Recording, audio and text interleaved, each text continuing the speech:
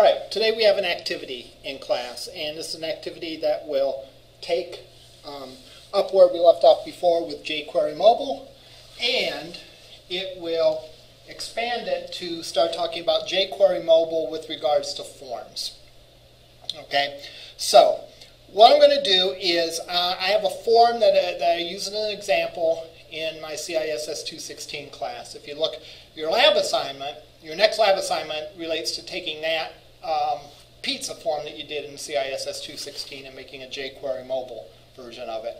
But I have an example form that you can download, and you can apply jQuery mobile to it to give it a more app-like look. All right? Now, I'm going to show you an example. This example is from last Wednesday's example. Um, the add a tartan was a PHP page but I'm going to go and simply rename it as a .html page so that we can see the form code in it. Did we figure out how to apply anything correctly? That's a good question. I did not. Um, um, I got mine to partially work, okay. not fully. All right. That would be a good one to play with if you have extra time today, and, and we'll try to remember to uh, to uh, um, go over this. When you're done, if you could post this to the bulletin board within Angel as an example. All right. I'm going to go and I'm going to rename this guy to be form build.html if you want an example.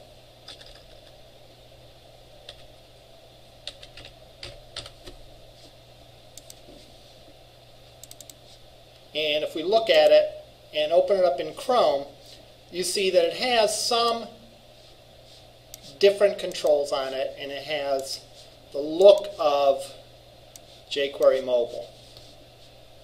Now, if we look at this guy,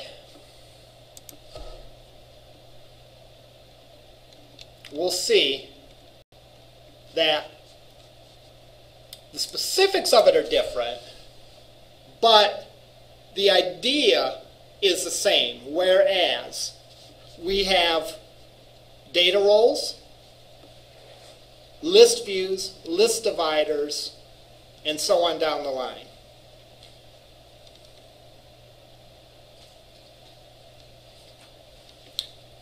They do have a snippet of PHP code, but we'll disregard that. Um, we'll come to that later on uh, in the semester. So what I want you to do is I want you to take this form, Form 3. It's a very straightforward form. It just has essentially one of everything.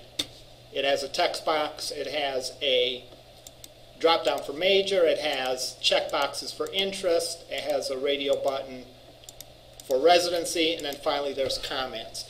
And I want you to apply the jQuery mobile look to it. Now, keep in mind that that example is not meant to be comprehensive, the example that I show you. There you can you can show check boxes a whole bunch of different ways.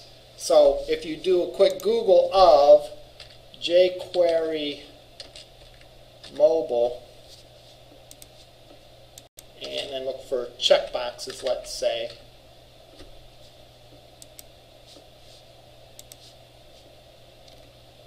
Here's some demos of how check boxes can look. All right, so much nicer than the standard, um, much nicer than the standard look for it. How do you do that? Well, again, you can do that by applying the proper data roles for that. So, that's what I'd like you to do, do today. When you're done, upload it to the um, bulletin board. Um, I'm going to record this for the student that doesn't attend classes. I'll post it up there, and hopefully he'll work through this example and, and post it um, as well. All right.